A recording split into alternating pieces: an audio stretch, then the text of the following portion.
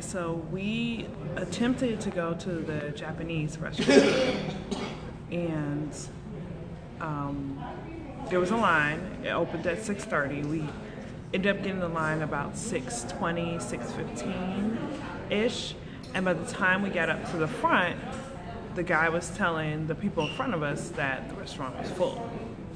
So when you're doing the restaurants here, you probably need to come 30 minutes earlier if it's like a popular restaurant.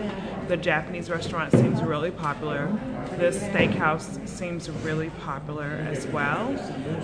The gourmet restaurant seems semi-popular. We're gonna try that tomorrow and we'll probably try the Japanese restaurant the next day. But right now we're at the Indian restaurant and we're gonna see what they have to offer and order some food and I'll kind of let you all know my thoughts about the food and things of that nature.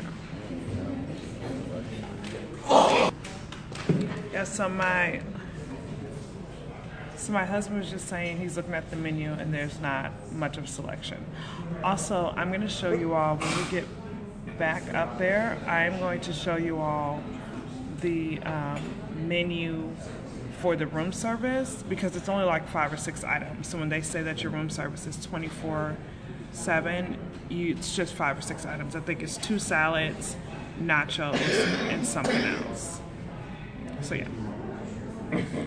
All right, guys, this is the menu that we have. We have some cold appetizers, some hot appetizers.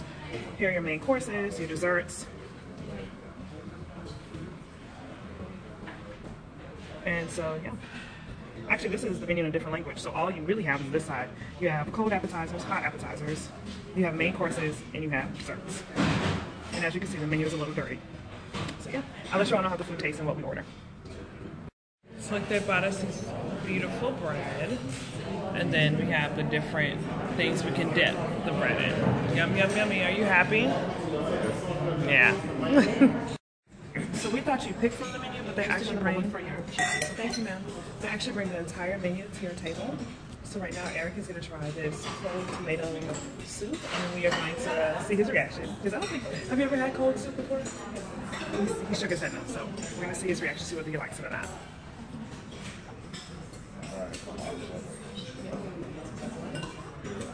You like it? It's spicy?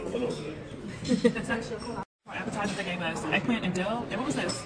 I don't remember what these two were, but I know this is eggplant and dill. And I don't remember what that is, but this looks like cucumbers with some spices, and then this looks like some tomatoes, onions, and some spices. That's our cold appetizer. Here's a lamb samosas, the fish emissary, also have shrimp, vegetarian mimosas, cambanetica, have tofu, tomato sauce, and we go outside. Enjoy. Okay, awesome. Thank you. Look at that. Yummy, yummy for our tummies. Fish and coconut curry, A fish and coconut curry. dal makhani lentils, Ooh, lentils. I love lentils. and the basmati rice. Enjoy. Excuse me?